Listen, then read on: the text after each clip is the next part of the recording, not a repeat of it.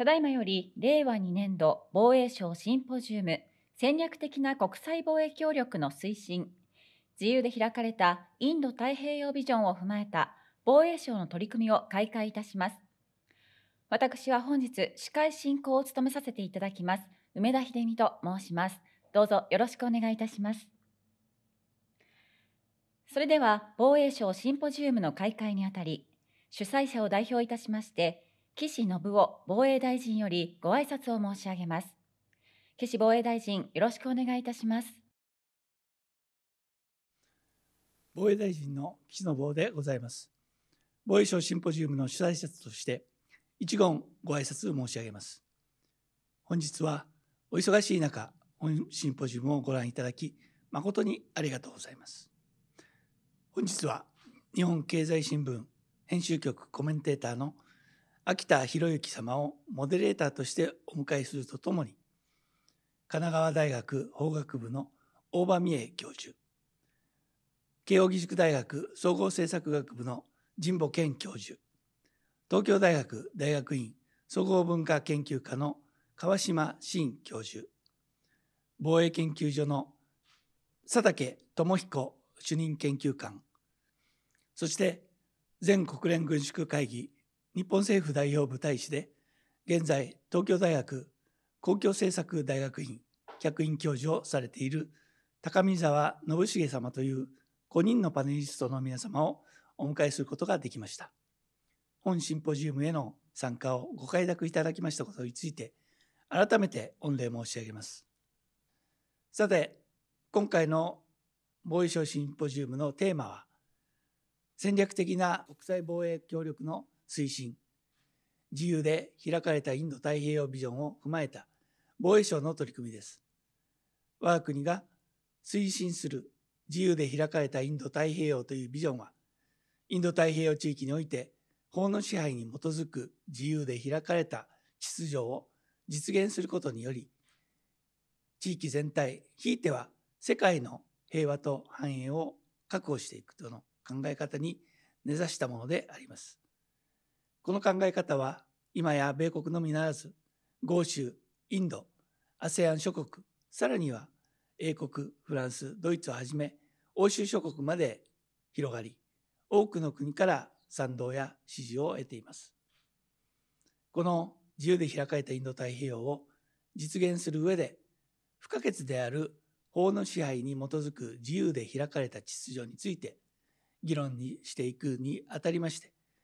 ここで改めて一言申し上げなければなりません。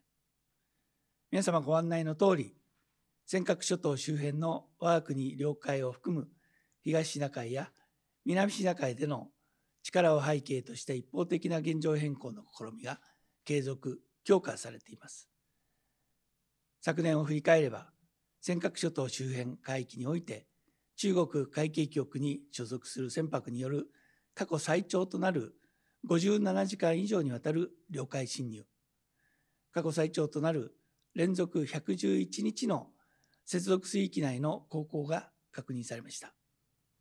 また昨年1年間の接続水域内の航行日数合計でも過去最多の333日に達しました。さらに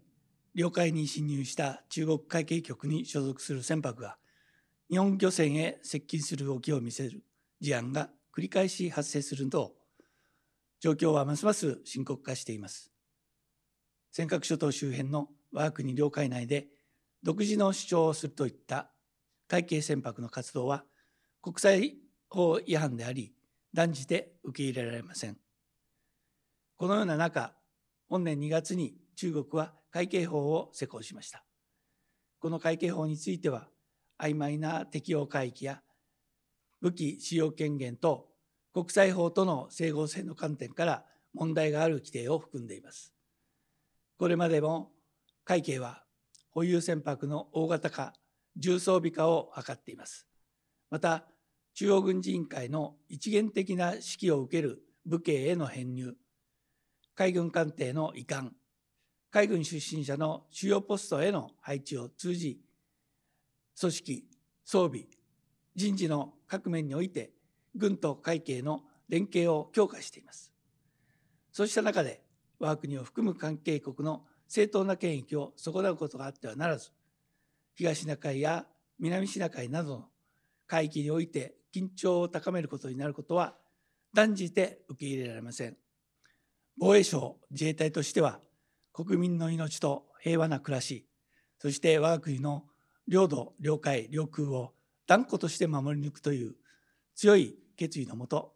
冷静かつ毅然と対応してまいります。また中国に対しては我々の懸念をしっかり伝えるべく意思疎通を図っていくことが極めて重要であると考えており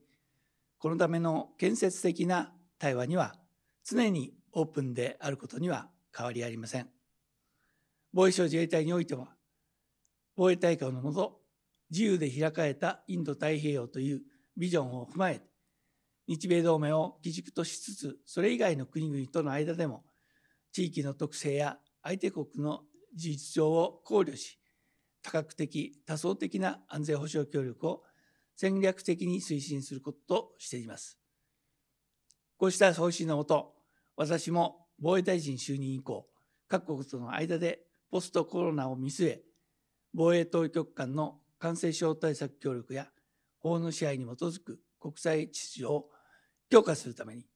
意見交換など戦略的かつ積極的な貿易協力交流を進めてまいりました。新型コロナウイルス感染症の流行が続く中においても私の就任以降これまでに16カ国計21回に及ぶ電話会談やテレビ会談を含む防衛省会談を実施し例年以上に諸外国との意思疎通を深めてまいりました。また新型コロナウイルス感染症の影響で直接の往来が難しい中にあっても人との接触を極限した形でインド太平洋方面派遣訓練や日米印豪共同訓練マラバールを実施するなど自衛隊ならではの取り組みによりインド太平洋地域における我が国のプレゼンスを高めてまいりました。自由で開かれたインド太平洋というビジョンは包摂的なものでありこの考えに賛同する全ての国と協力が可能です。防衛省自衛隊としては今後ともこのビジョンを共有する米国やパートナー国との協力を一層強化しながら ASEAN 諸国や南アジア諸国太平洋島諸国等の防衛協力交流に取り組みこれらの地域全体の安定と繁栄に貢献してまいりたいと考えています。具体的な取り組みについてはこの後防衛省の防衛政策局より説明をさせていただきます。その後に予定されているパネルディスカッションでは学識経験や実務経験豊かな有識者の方々の間で活発なご議論を頂戴できればと考えています。防衛省自衛隊の取り組みは国民の皆様の理解があって初めて成り立つものです。本日の議論を通じ我が国の防衛政策に対するご理解ご関心を深める一同となれば幸いです。最後に皆様から防衛省自衛隊に対する一層のご支援を賜りますことをお願い申し上げて私からのご挨拶とさせていただきます。